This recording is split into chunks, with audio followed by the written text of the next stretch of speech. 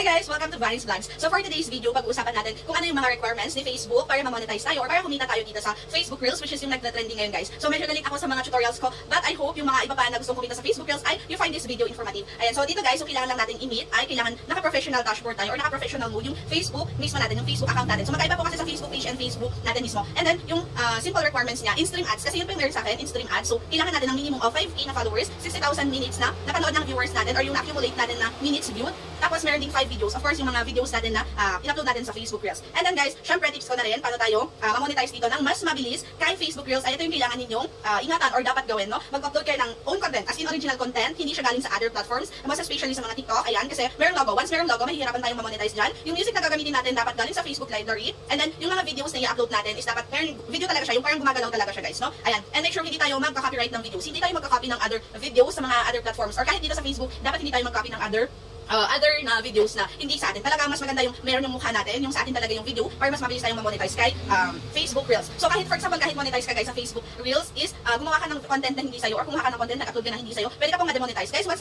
na-demonetize na kayo, hindi po tayo pwedeng mag-earn sa Facebook. So ganun po siya, no? So ina-apply ko lang yung experiences ko sa YouTube kasi magka-parehas na rin sila ngayon sa Facebook which is nakaka-demonetize din po yung mga bawal sa Facebook. So sayang po yung efforts natin. So habang maaga pa, kung ginagawa mo to, yung mga nag-upload ka na galing sa TikTok, yung music mo, hindi galing sa Facebook library, yung videos mo, hindi sa'yo, nako, sayang po yung efforts ninyo sa pag-upload sa Facebook Reels. Kasi hindi po yan ma-monetize, okay? And so yun lang, guys.